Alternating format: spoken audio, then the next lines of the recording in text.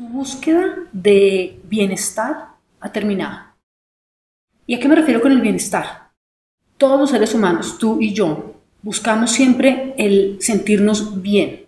Bien en nuestras relaciones, bien en términos de seguridad, de confianza, de autoestima. Buscamos una experiencia de bienestar. Y de acuerdo a, a lo que hemos recibido como entrenamiento en la vida, y a qué me refiero con entrenamiento, aquellas cosas que nos han enseñado que así son, la vida se trata de esto, esto es lo que tienes que hacer, esto es lo que se puede, esto es lo que no se puede.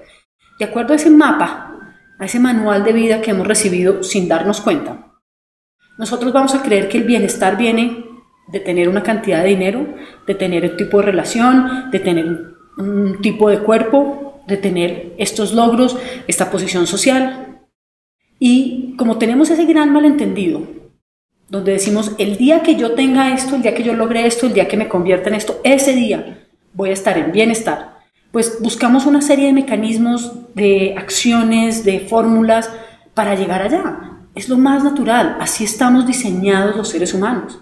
Estamos diseñados para buscar ese bienestar. Ahora, ¿por qué digo que la búsqueda ha terminado? Porque es imposible lograr, encontrar, recibir, manifestar, bla, bla, bla, algo que nunca se ha perdido. Lo que sucede es que con ese manual de vida, con todas esas creencias, condicionamiento, enseñanzas que recibimos todos de una u otra forma, se nos ha hecho ver o hemos visto que el bienestar es algo que viene de algo externo, de algo por lograr, de algo por adquirir, de algo en qué convertirnos hacia nosotros. Cuando lo que verdaderamente ocurre es que estamos hechos, nuestra esencia es de bienestar. Si nosotros miramos, por ejemplo, un niño pequeño, un niño de, no sé, seis meses, ocho meses, bueno, desde que nace hasta los ocho meses, un año, ¿cómo lo vemos? Teniendo una experiencia absolutamente plena de la vida cuando se siente feliz, se siente feliz. Cuando está molesto o siente que le hace falta algo, lo expresa. Pero regresa a qué? A un estado de serenidad, a un estado de plenitud, a un estado de gozo. Claro, soluciona o se soluciona esa molestia y vuelve a qué? A sentirse pleno, a estar con apertura, a estar con gozo. Entonces ahí podemos ver que eso es algo que no viene enseñado. Nadie le enseña a los niños mira, ten serenidad, mira, siéntete bien contigo mismo, mira, no tengas problemas eh, con tu personalidad o con tu físico o con tu condición social o con tu, con, tu condición económica.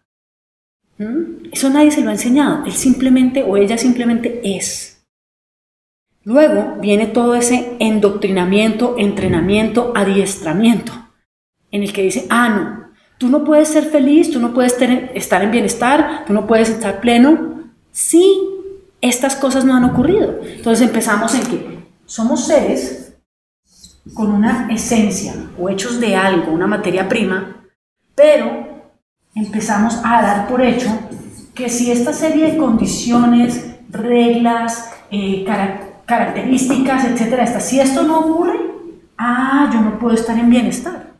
Pero inicialmente, esencialmente, nosotros, nuestro estado innato, natural, es de absoluto bienestar. Y luego nos convencemos de algo diferente.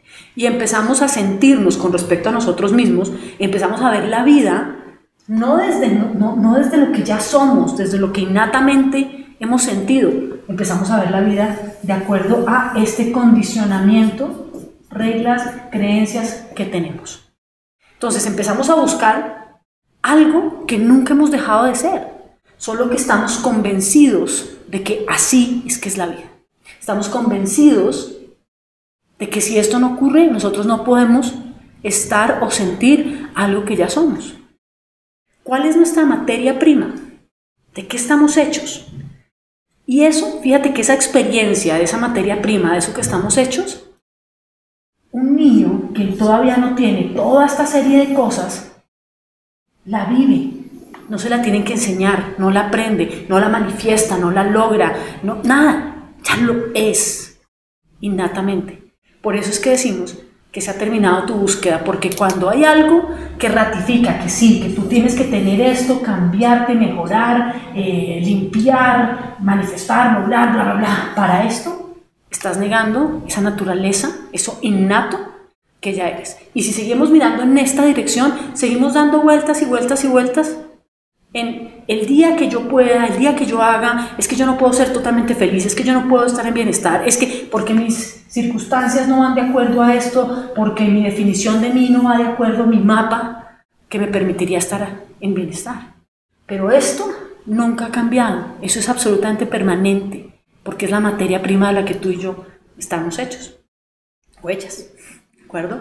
Y esto es tan poderoso, el recobrar este sentido, el redescubrir esto, que es el eje central del coaching de bienestar. Y los efectos que empezamos a vivir en nuestra vida con esta exploración son impresionantes, porque imagínate que empieza a ocurrir cuando esto deja de cobrar sentido, cuando todo esto deja de ser lo protagónico y volvemos a vernos por lo que somos. Desde acá tenemos un potencial infinito para crear, para lograr, para, bueno, desde aquí, desde el entender nuestro verdadero ser. ¿De acuerdo? Confío que esto sea de gran utilidad y para mí una de las cosas que me ha liberado enormemente el darme cuenta que esa búsqueda frenética en la que yo estaba, para la cual usaba miles de cosas de autoayuda y de coaching tradicionales, decir, oye, me estás mirando en la dirección equivocada, vuelve a esto. Esto tenía un impacto absolutamente empoderante, liberador, inspirador y por eso lo quiero compartir contigo. Nos seguimos encontrando. Muchas gracias por comentar, compartir, seguirnos, etcétera, etcétera. Gracias.